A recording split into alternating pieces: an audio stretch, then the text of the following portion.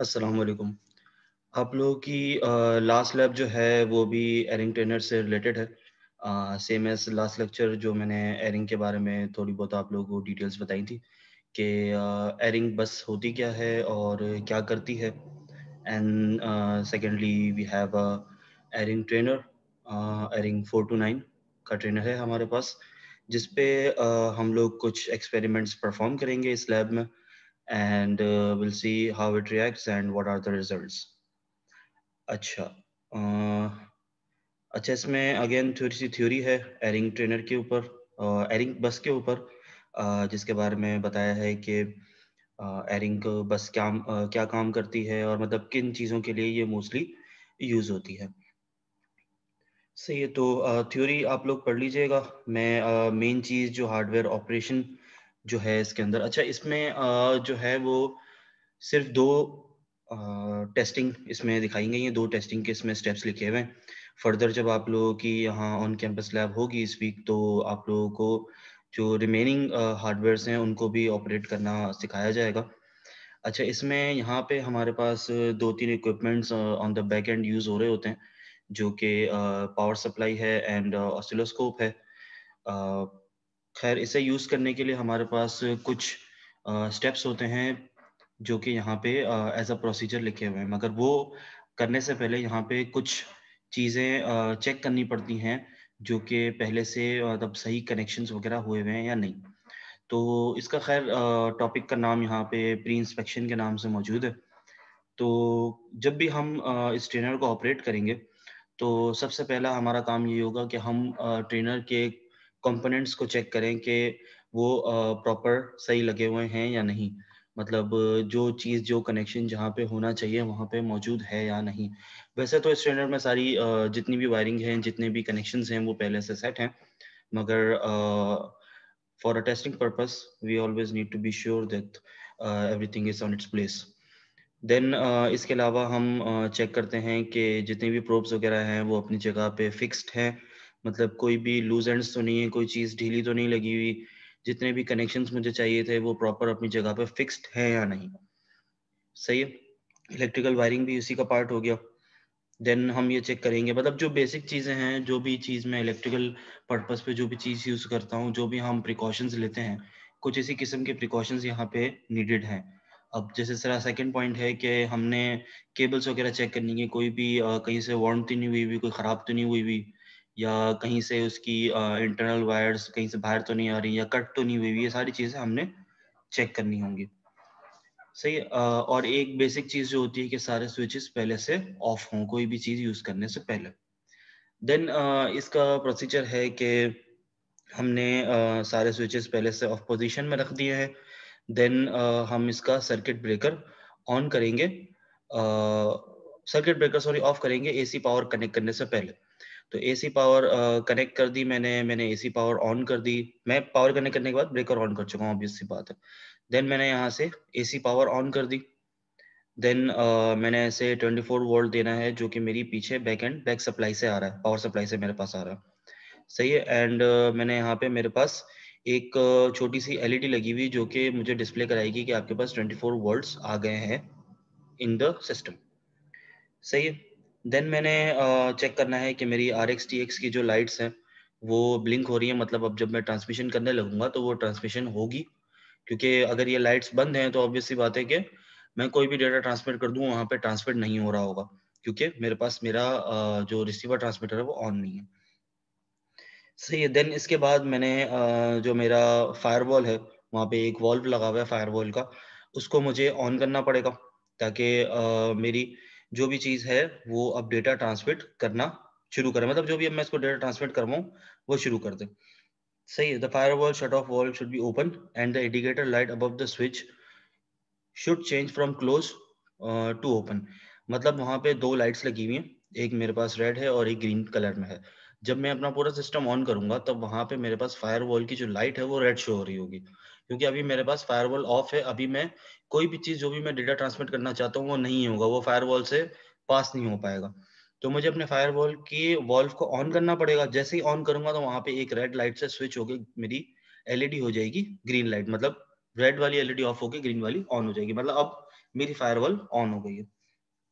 Then हम यहाँ पे दो चीज़ें चेक करेंगे। एक हमने अपना cargo door on and off करके देखना है और उसके बाद मैंने अपना एक ओएटी टेस्ट करना है मतलब मेरा आउटसाइड एयर टेम्परेचर तो कार्गो में मेरा कार्गो हैच जो है वो लिफ्ट अप करने के लिए मैं यहाँ से इसको इनपुट दूँगा।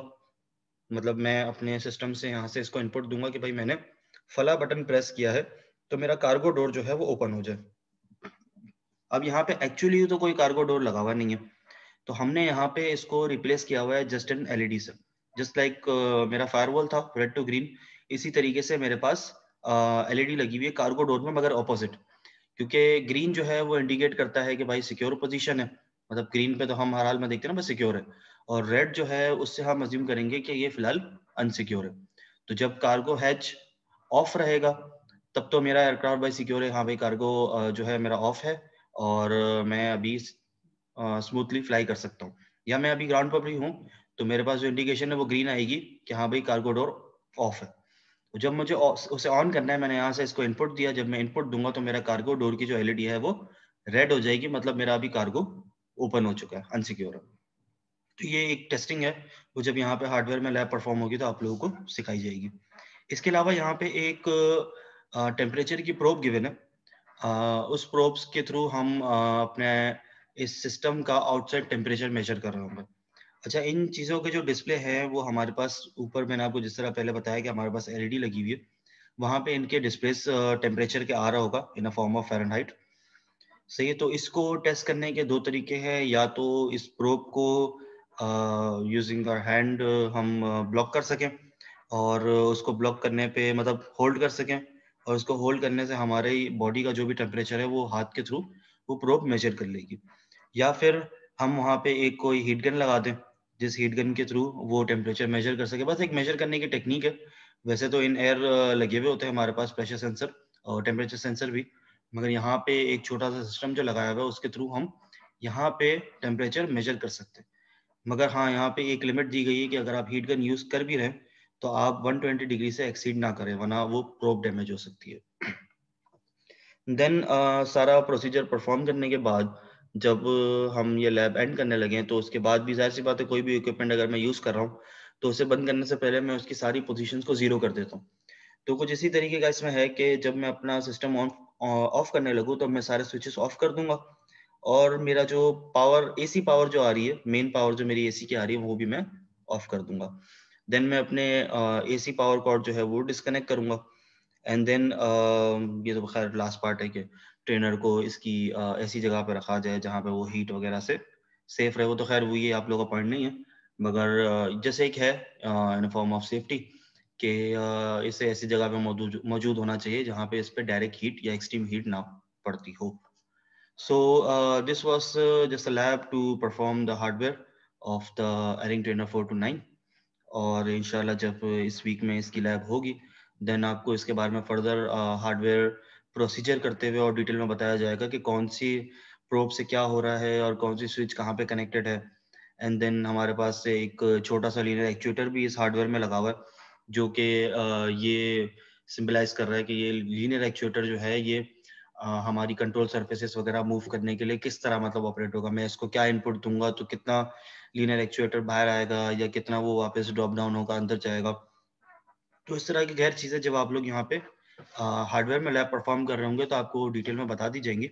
मगर इन थ्योरी बेस बस ये छोटी सी टेक्निकल चीज़ें हैं कि अगर मैं इस ट्रेनर को यूज़ कर रहा हूँ तो मेरे क्या स्टेप्स होने चाहिए, क्या प्रोसीजर्स होंगे, किस तरह की मैं टेस्टिंग पहले करूँगा, यहाँ पे लैब परफॉर्म करने से, और किस तरह की मैं बाद में करूँगा।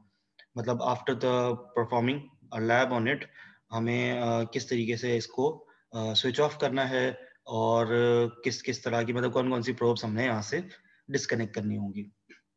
सो so, जस्ट ये सिंपल सी लैब है ट्रेनर की। आप लोगों को आई होप के थ्योरी की जो लास्ट वाली लैब थी इंट्रोडक्शन की वो आप लोगों को समझ में आ गई हो। देन इसके ऊपर हम हार्डवेयर परफॉर्म कर लेंगे एरिंग ट्रेनर के ऊपर इंशाल्लाह नेक्स्ट लैब में। And this labs ends here या जस्ट इट्स एंड्स देन बस यहाँ पे डिटेल है।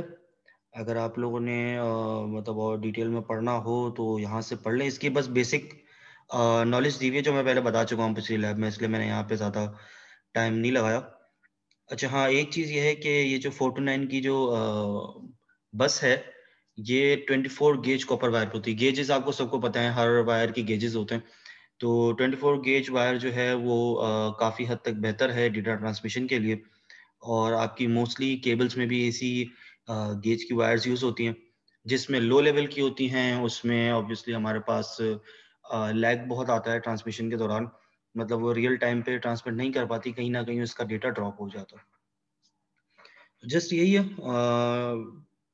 यूनिडायरेक्शनल ट्रांसफॉर्मेशन के लिए यूज़ होती है एयरिंग बस एंड मोस्टली मतलब मैक्सिमम हर एयरक्राफ्ट में ये यूज़ होती है। So that's end of the lab inshallah we'll work on its uh, hardware in the lab when uh, you'll be here in the Keaton campus. So Allah Hafiz, take care